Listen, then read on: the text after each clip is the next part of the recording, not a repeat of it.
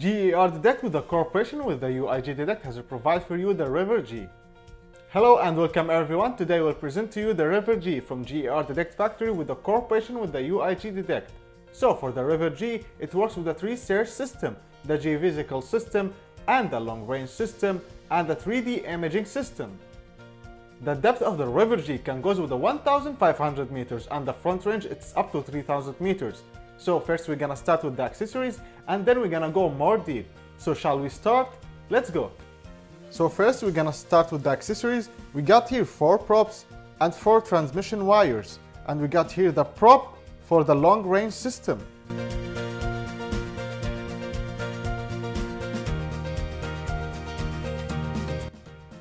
Now for the package we got first the main unit for the long range system.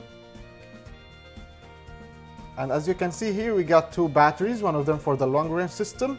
And we got here an addition paper. So once you are searching in your area and you are done from the searching, you can simply print a report of the results.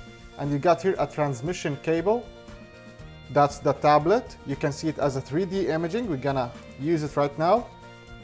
And we got here also the charges. First, we're gonna open the tablet and we're gonna go to the River G application.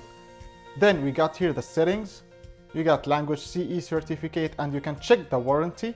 We're gonna click back, you got battery, MAC address, serial number, everything. We're gonna go with a new search. It will direct us to geophysical system in the main unit. Okay, now we're gonna turn on the device. First, we need to have the battery. We're gonna connect it to the main unit. We're gonna turn on the battery. Then we're gonna click on the power of the device. Now once the device is turned on, we're gonna go first to the settings. You got brightness, volume and test. You can decrease it or increase the brightness and the volume. And you can make a quick test before you start searching. We're gonna click back. You got here four languages. We're gonna go with English.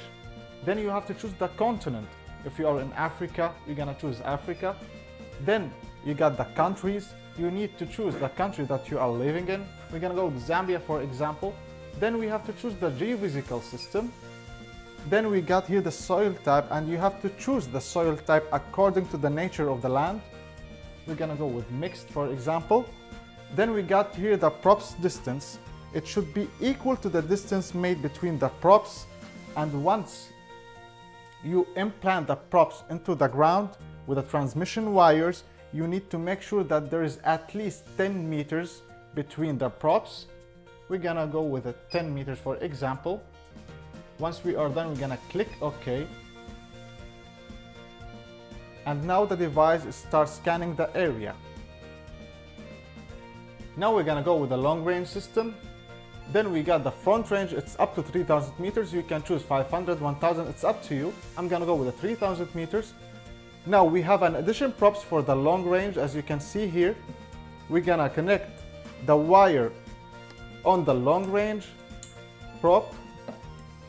Then we're gonna connect it into the device. As you can read here, it will have the long range port. Now it's start working and searching up to 3000 meters.